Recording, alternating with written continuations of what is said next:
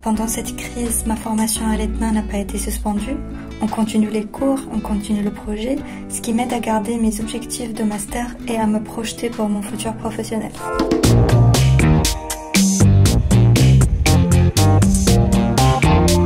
Les activités pédagogiques euh, bah, se déroulent de façon assez classique finalement, puisqu'elles sont déjà prévues pour l'alternance. Donc euh, les étudiants ont sur leur intranet euh, des vidéos de cours, ils ont des sujets, et du coup pour assurer leur rendu, ils ont la plateforme GitLab qui leur permet donc de rendre leur projet de façon versionnée. Donc finalement, on change pas tellement de façon de fonctionner. La seule chose sur laquelle il a fallu que je m'adapte, c'est les workshops et du coup, euh, on a réfléchi à un questionnaire, à quelque chose d'un peu ludique, euh, faire des vidéos, ce qui n'est pas facile parce que faire des vidéos chez soi, il faut trouver le bon endroit. Et là, vous êtes sur une étagère, dans mon couloir.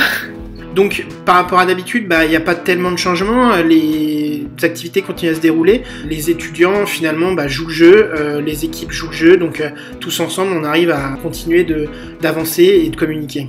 Grâce aux moyens de communication que l'État a mis en place, j'arrive à avancer dans ma formation. Je profite autant de soutien et d'accompagnement de, nos profs et nos Java. Je n'ai pas de problème, surtout que l'État est assez réactif quand j'ai une question et aussi avec les suivis. Il y a aussi des events qui sont organisés pour être sûr qu'on ne s'ennuie pas. Donc euh, pour ma part, super. Je souhaite remercier le personnel de l'ETNA pour leur implication dans cette période assez spéciale. Euh, sincèrement, nos professeurs et les Java, ils sont là quand on a une question, quand on a besoin d'aide. Alors, est-ce un pari réussi? Je dirais oui, oui, à 1000%. Parce que au final, euh, on a fourni plus de contenu, on a essayé de rendre ça quand même interactif et ne pas perdre le côté humain qu'il y a euh, dans, l'enseignement et dans le fait que bah, la transmission de connaissances, ça se fait euh, d'une personne à une autre.